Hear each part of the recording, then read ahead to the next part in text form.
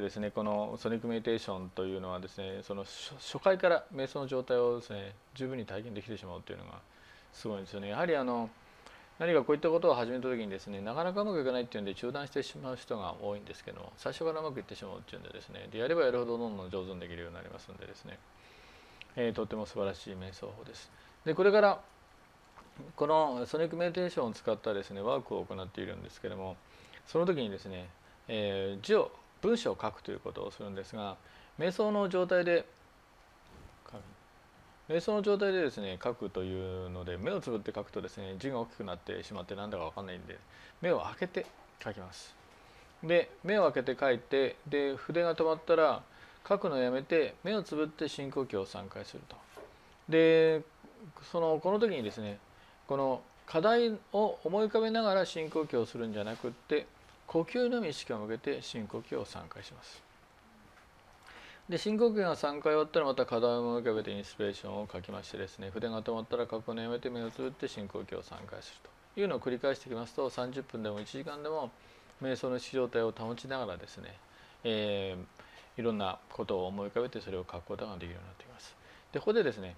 いろんなことを思い浮かべたら書くということが重要になってきます。書かないでいると頭の中をですね同じことが行ったり来たりしてやがてそれが雑になってしまって寝てしまうということになりますのでですねえ書くとそうすると次のメッセージがまたやってきます。で今日はどんなことを書くかっていうとお父さんとの関係というのを書いてみましょうと。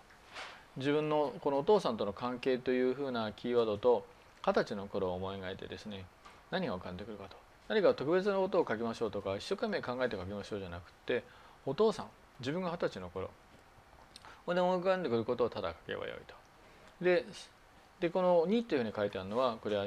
えーと、合計で2分間この1分半書いていただきまして30秒はですね深呼吸を3回すると。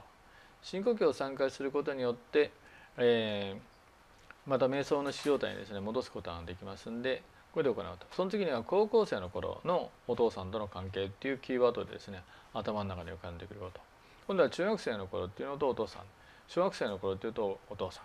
幼稚園や保育園の頃っていうこととお父さんと。それからその前の頃と。ほんで、えーと、この頃になってきますとですね人間の、えー、脳の仕組みとしてですねあまり思い浮かばせることが難しくなってくるというふうなことになりますけれどもそれでもなんか、えー、自分がですね子供の頃の写真を見てああこんなところに行ったんだなというふうにするとですね思い出すことができますんでですねそういった感じで書いていくと。でそうしてみるとお父さんとの関係をこれまで普通の意識状態でしか振り返ってこなかったわけなんですけど瞑想の状態でお父さんとの関係を振り返ってみますとですねまた新たな発見があります。そうするそういうそれからまたお父さんがこの辺りに亡くなってしまったっていう場合も、えー、亡くなってしまったお父さんとの関係あるいはお母さんとお父さんが離婚してしまったっていう場合もあ高校生の頃お父さんのことを思い描くとこんなことがあったなみたいな感じですねお父さんが、えー、ご健在でも亡くなってしまっても離婚されてしまってもですねあのなんかお父さんというキーワードでこういった年齢をですね、えー、振り返ってみるとですね何か思い浮かんでくるだろうと思うんでそういったことを書いていただければ OK です。